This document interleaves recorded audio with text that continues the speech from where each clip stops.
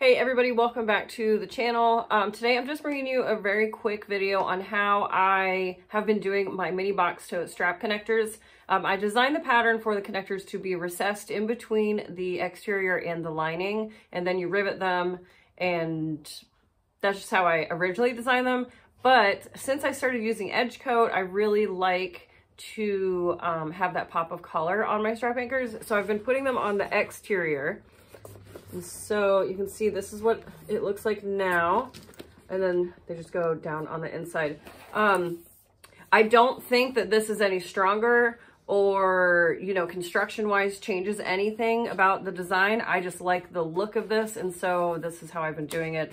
Um, and a couple of you sneaky little devils noticed it in a few of my last videos, so um, yeah, you asked me to show you, and here we go.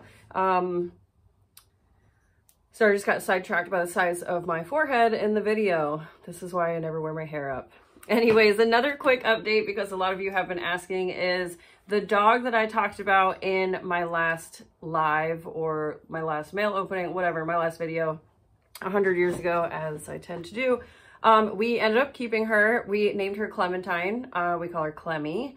Took her to the vet. She is all good in the hood. She, everything is great. Um, she does kind of have a bum knee, so she might need surgery in the future. But other than that, she's heartworm negative. She's caught up on all of her, um, vaccines and she goes tomorrow to get spayed, which I'm thankful for because she went into heat, which hasn't been great, but it could have been worse. But, um, yeah, she's doing great. She's just coalesced into our family really well. Um, I knew it was official when I made her a tag, or when I made her a collar, and then I ordered her a tag.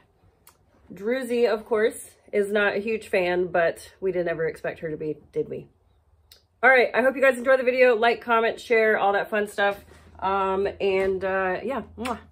Let me sit. Good girl. Oh, there's our other friend animal that we watch. Sorry, my floor is a mess, but just wanted to let you guys say hi to Clementine.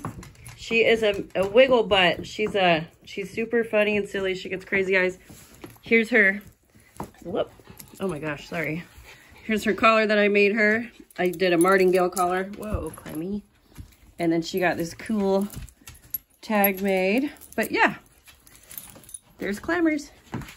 Okay, so we've got our tools ready to go. I have my hardware, too much of it, but I have my hardware, I have my rectangle rings, and then I have my completed and edge-coated um, strap connectors, and I have my strap. And so it's really simple, but all I'm gonna do is I'm gonna make marks on either side of the seam line on both sides of the completed box tote. You can see it's already top stitched as well.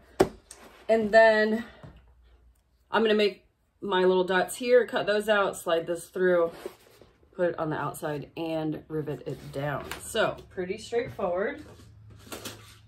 But you guys have been asking for a video, so here we are. I'm going to use my rivet placement tool that I got from Tops and Bobbins. And I am just lining up the first set of holes with my seam line. So my seam line is about 1 8 from the top here. I'll do the same on this side. Obviously centering.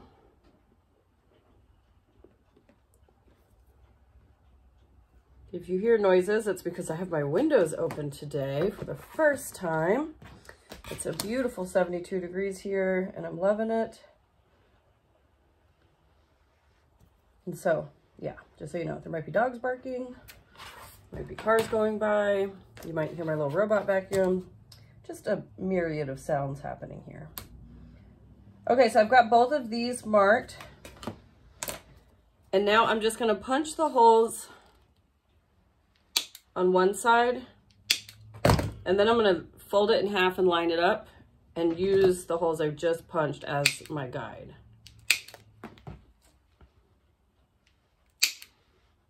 Um, I started doing my strap anchors like this mainly because I liked the top or the edge coating. Ooh, I use my strong hand.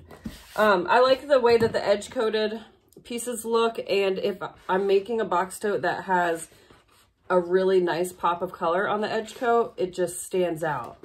For example, on the black, I have beige edge coat, and these are gonna go on this moon phase tote.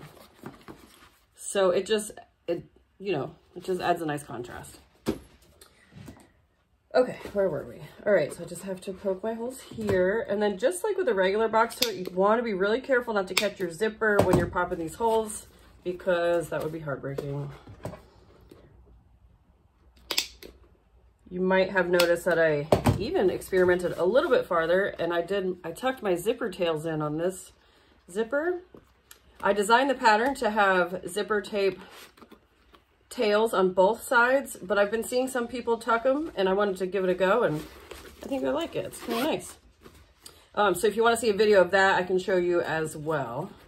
Um, but there are lots of other sewing patterns that do that hack, well not hack, but it's designed like that. So, but yeah, let me know if you want to see it and I can show you. Okay, so simple, I'm to pick which side I want to be on the outside this side here. Just gonna slide my rivets through one side.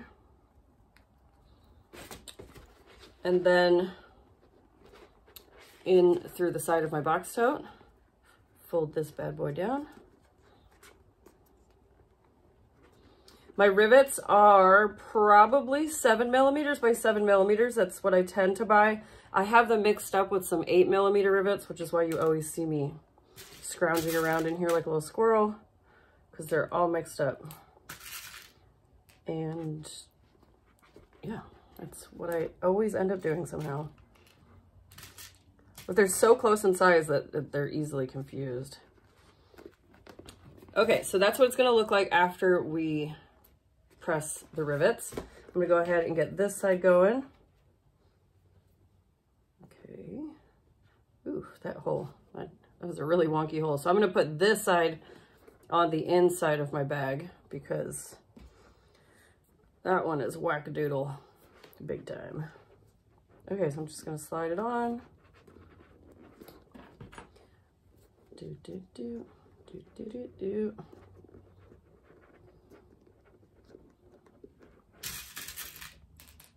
Um, if you ever see on my Instagram posts or in just any photos or background of my videos. Um, some of my patterns that have different um, design aspects than what I originally wrote it for. Feel free to ask me about it. I can show you guys what I've done. Um, just like most people, I get tired of making the same stuff and I like to experiment as well. So you might see that on occasion, but feel free to ask and I will uh, show you what I've done and if I like the change or not. Okay, so I'm just gonna use my press and press these guys down.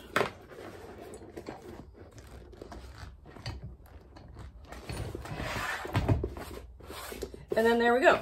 So the other minor change that I made on this bag in particular, or on this whole series of bags that I'm making, is on these strap connectors, instead of making them exactly one inch wide, I shaved like a 16th of an inch off on both sides because what I've noticed is that when I cut them one inch wide and then I edge coat all those layers, it makes it a little hard for this connector to maneuver in there. Um, sometimes it's not a bad thing because it holds the shape nicely and it keeps it exactly where it where you put it.